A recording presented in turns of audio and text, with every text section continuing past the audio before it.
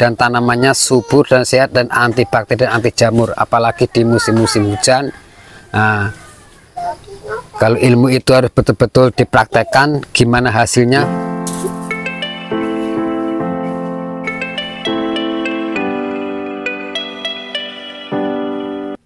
Halo Sobat Tani Assalamualaikum warahmatullahi wabarakatuh. Jumpa lagi bersama saya di channel Roni Jenggot Di dalam kesempatan video kali ini ya Sobat Tani Yaitu saya ingin berbagi sedikit tips atau cara Yaitu untuk merawat tanaman cabai Walaupun toh dalam polybag atau di pekarangan yang sempit ya Sobat Tani.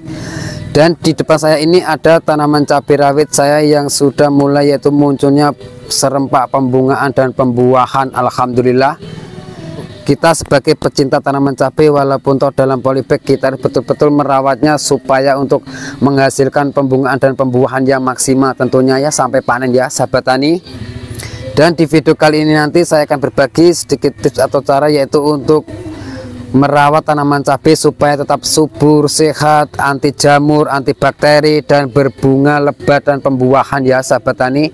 Dan alhamdulillah saya sudah mengaplikasikan ada hasilnya yang nyata. Ini adalah ilmu yang unik dan sangat lucu.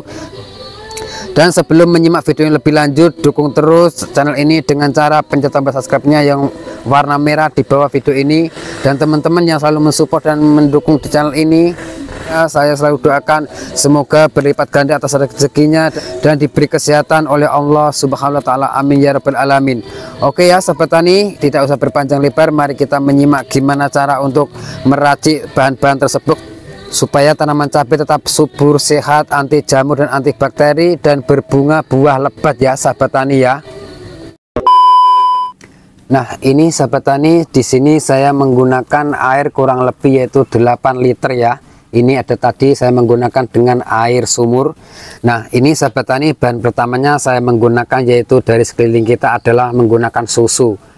Yang mana susu ini ya sahabat tani juga dapat digunakan sebagai pestisida yaitu yang paling menjanjikan dalam memerangi kutu daun dan mengurangi yaitu virus daun mozaik dan susu ini ya sahabat tani juga sebagai agen anti jamur untuk mencegah embun tepung. Alhamdulillah saya sering mengaplikasikan dengan menggunakan susu ini. Ada perubahan yang drastis tanpa membeli bahan-bahan kimia yang mahal ya sahabat tani ya. Dan susu ini ya juga berfungsi adalah sebagai pupuk untuk tanaman. Yang membantu adalah proses pertumbuhan tanaman apalagi di fase-fase generatif yaitu munculnya pembungaan dan pembuahan ya sahabat tani kita mengaplikasikan memakai dengan susu tersebut.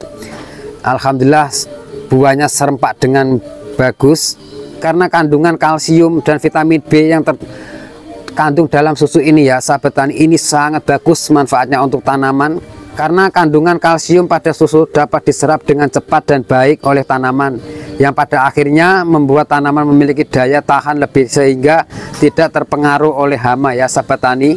Dalam air 8 liter ya saya menggunakan satu saset. Nah, kita aduk. Nah, kita larutkan macam ini ya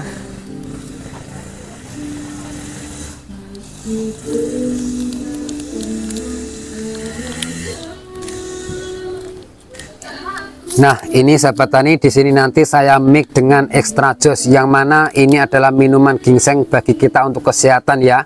Tapi jangan terlalu sering-sering meminum yaitu extra jos ini juga sangat berbahaya. Di sini nanti susu tersebut saya mix dengan extra jos yang mana di sini kandungannya juga sangat banyak dan sangat bagus buat kita dan juga buat tanaman ya sahabat tani karena di sini kandungannya yaitu mengandung vitamin B2, B3, B5, B6 dengan memakai ekstraksi ini adalah manfaatnya adalah untuk perangsang pembungaan dan pembuahan ya sahabat tani ya. Ini memang sangat-sangat konyol tapi Alhamdulillah saya mengaplikasikan ada perubahan yang drastis tanpa membeli bahan-bahan kimia yang mahal ya sahabat tani. Kita menggunakan dari sekeliling kita yaitu dibuat pupuk untuk tanaman. Nah dalam air 8 liter di sini saya kasih yaitu satu bungkus nah, macam ini ya. Nah, macam ini nah, lalu kita aduk-aduk nah, macam ini ya sahabat tani ya untuk melarutkan daripada etratis dengan susu tersebut tadi. Nah, macam ini. Macam ini ya tinggal mengaplikasikan. Dalam satu polybag saya kasih yaitu satu cangkir macam ini. Nah, nah, macam ini. Diaplikasikan satu minggu sekali.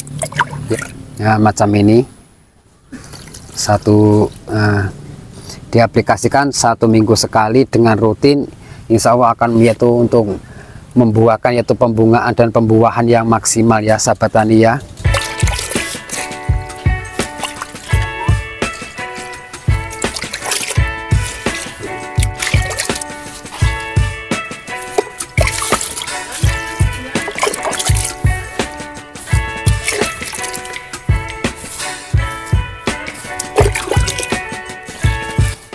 Oke sahabat tani itu adalah sedikit tips atau cara yaitu untuk merawat tanaman cabai untuk yaitu supaya tetap subur sehat dan anti jamur dan anti bakteri ya sahabat tani ya. Nah di sini Alhamdulillah di sini nah, tetap hijau royo-royo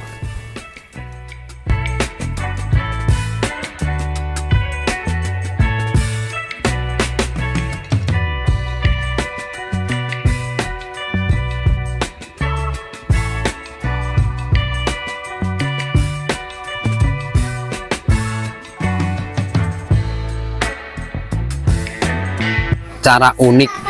Ini boleh dibilang nggak waras atau yang aneh ya sahabat tani. Tapi di sini alhamdulillah menghasilkan pembungaan dan pembuahan yang maksimal. Dan tanamannya subur dan sehat dan anti bakteri dan anti jamur apalagi di musim-musim hujan. Nah kalau ilmu itu harus betul-betul dipraktekkan gimana hasilnya baru kita boleh melihat ya sahabat tani ya. Alhamdulillah di sini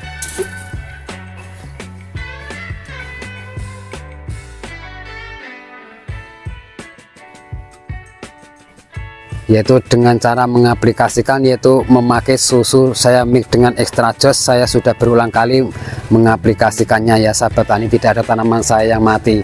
Dan semoga video ini bermanfaat karena tak ada ilmunya bermanfaat kecuali hanya saling berbagi. Dan cukup sekian video dari saya. Wassalamualaikum warahmatullahi wabarakatuh